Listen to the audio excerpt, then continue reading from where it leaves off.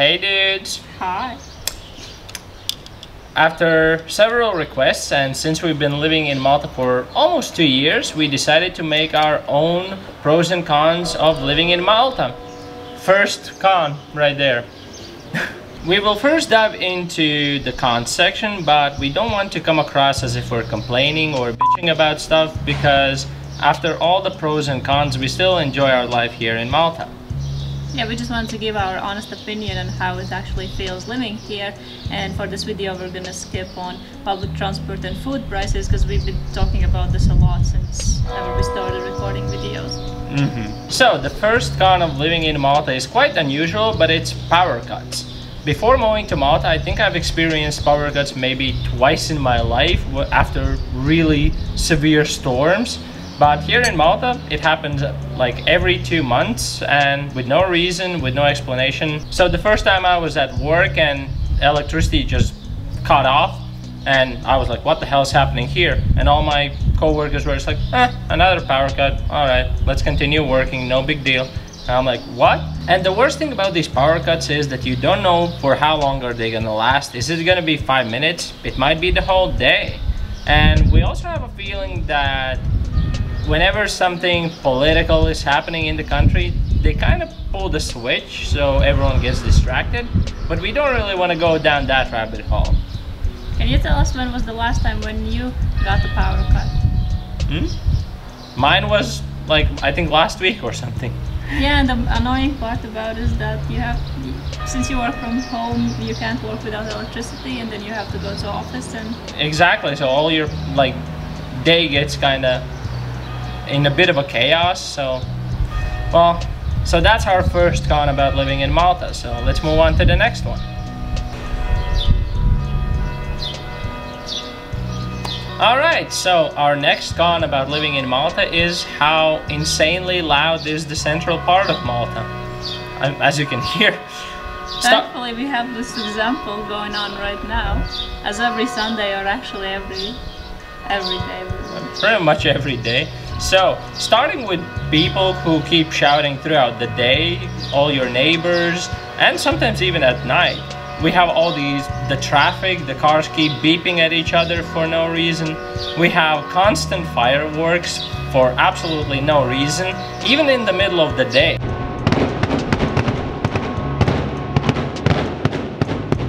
They just the day. Have you have you ever experienced fireworks when it's like sunny outside, they were just like what is have. Yeah, you can't even see the fireworks, you just hear the bang. So, what people just love hearing explosions or something? Then we obviously have our church bells. Although we don't know much about churches and bells, but I don't think you should play the bells for three hours straight, twice a day, all the time. We have them a lot here. And once these bells will stop ringing, then we have construction noise with the guys drilling and hammering throughout the day. Even on, like, I know we're kind of old people, but should you actually be drilling at 10 in the evening on Sundays? Like, I don't think so, but of course we live right next to a huge hotel, but try moving somewhere in Malta where there is no construction works going on. Not that our location is at fault, it's just everywhere. And then we have all our uh, garbage cars. Oh god, we have these narrow streets where the garbage trucks are trying to where the garbage trucks are trying to pass and they will be like beep, beep. well you get the point right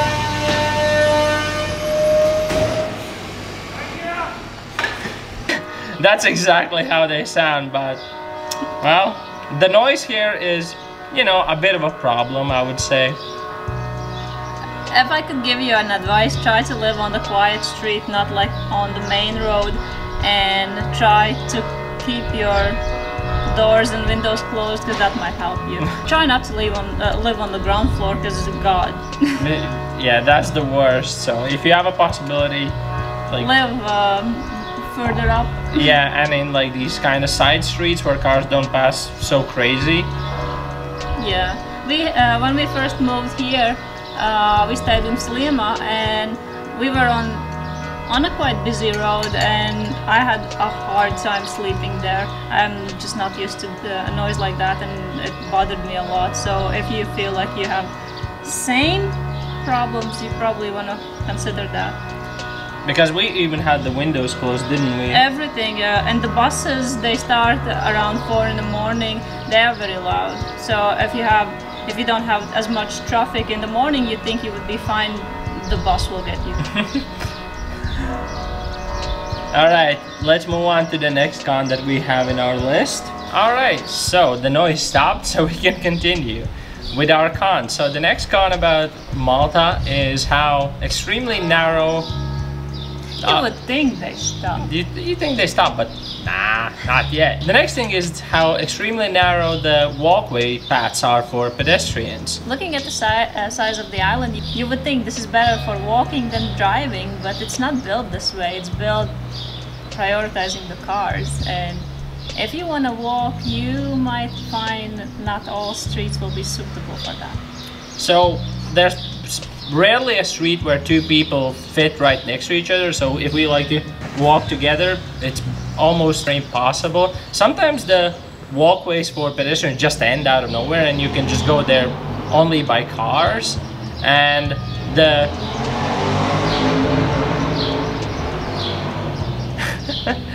and the zebra crossings are in the weirdest places ever. Like they're like i don't know half a kilometer away from the bus stop which makes absolutely no sense so we're in a bus stop and the next way to cross the street is there is no way no cross paths for pedestrians there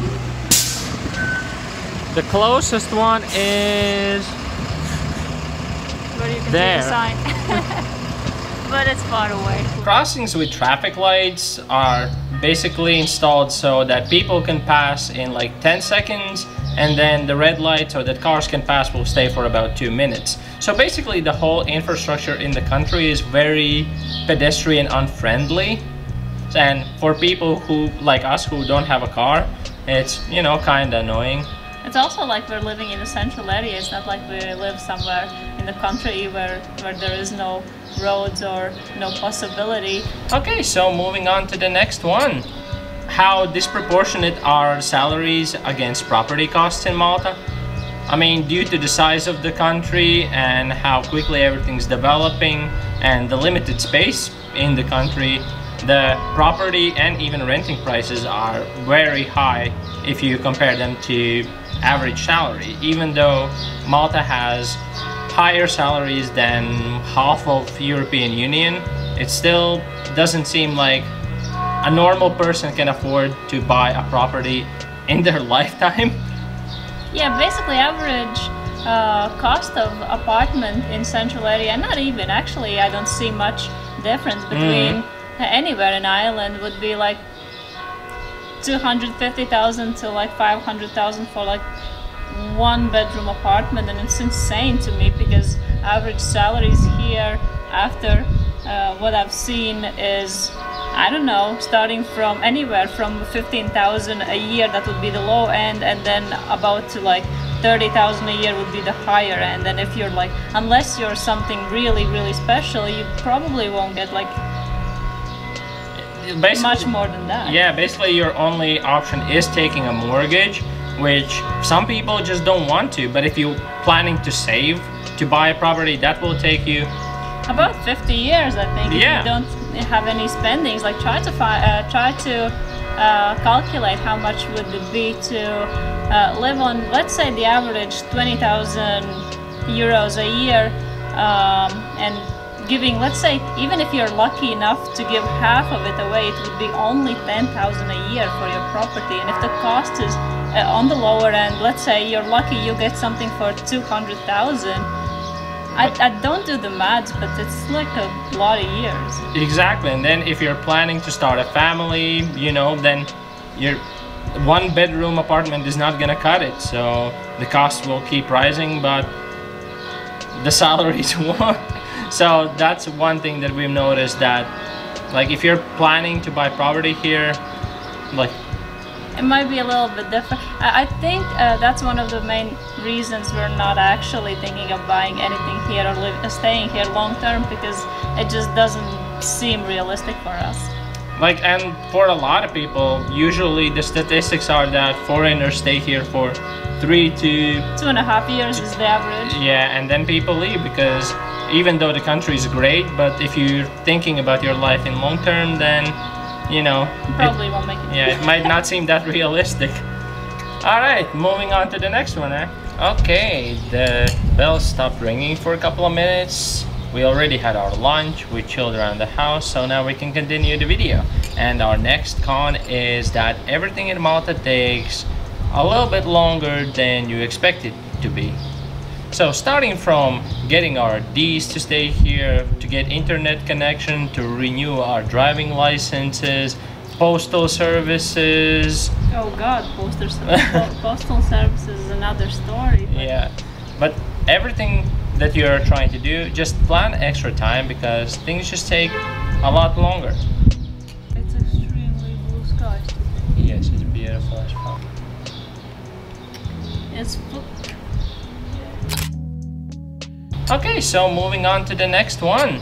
And the next one is that you can buy everything in the same store. So you kind of have to plan your routes to go everywhere to get the best deals around the town because uh, Lidl has the best prices and it's far away and it doesn't have any vegan selection. So you have to go to another store. You go to the Tower Shop, which is kind of close. It has a lot of options, but it's going to be expensive. Uh, we have a lot of nearby shops like the convenience shop and Dave's and stuff like that, which are really close. Um, the prices are average, but they pretty much have really bad selection. They have no veggies at all. So we have to order all our vegetables from the Maltese farms. At least they deliver and the prices are good. Uh, the nearby Asian shop has all the best prices for all the Asian food selection and uh, obviously the selection there is better. If you've seen in previous videos, that's how we run around. Do one shop, then the another shop. So it's not like there's this one nice shop that has everything you need. So that's a little bit of con for us. Yeah, for sure. For sure. All right. So before we move on to our pros of living in Malta and why it's such a great place, uh, we have our one last weird con, and that is insects.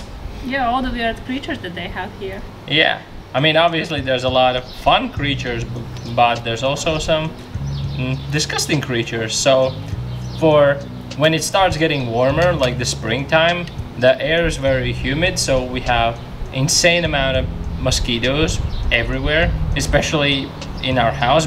Especially if you have a house that doesn't have good ventilation and holds humidity. So. But to be honest, I think it would be any house as long as you don't have any uh, window protection on your windows, they will get into your house, and especially at night, because at daytime they kind of hide and they'd be like, "Oh, we're not here actually," but then when uh, at nighttime they'll eat your ass. Yeah, at nighttime they they feast. They feast on your body. So you kind of feel like you're camping outside. That you have to bring in those little spray bottles of like anti-mosquitoes things. I mean, they're not poisonous as far as we're aware, but they're so annoying and you can't get a good night's sleep. So if you are living in Malta, tell us if your house also has mosquitoes or is just us and our apartment is doomed. And the second thing after the humidity is kind of gone and it gets even hotter um, then your newest visitors are cockroaches and yeah, uh, they kind of switch places. Uh, mosquitoes leave and cockroaches arrive. Yeah, so we don't have any mosquitoes right now because it's super hot. I think they die because yeah. it's like 30 plus degrees every day. But even if you keep your house clean and if you live in like what sixth to ninth floor, cockroaches find their way in like so we have at least one visitor every week and the thing is you know we had cockroaches in Latvia, it's not a big deal. Like you know, these little bugs and they're just disgusting. But these guys in Malta, they're like this huge, and like size of your hand. and they fly, which makes them extra scary and extra disgusting. We'll add the picture so you can see what Yeah. we're talking about. But like that's insanely like I don't know, disgusting. I think everyone who's uh, been in Malta uh, for a while could totally agree and say that they've met at least once in their stay. Yeah, so that's like this one thing we don't really like, but that's our end of list for our cons of living in Malta. Hey dudes, this is us from the future again. It turned out that the video we made is a bit too long to fit in both pros and cons in one video, so we're uh, splitting them. So today you're seeing the cons of living in Malta, and tomorrow you'll see the pros of living in Malta. So we hope you enjoyed this video. Uh, if you liked it, you can leave a like, and if you want us to make similar videos, you could subscribe. That would be great. And we'll see you in another video tomorrow. Bye.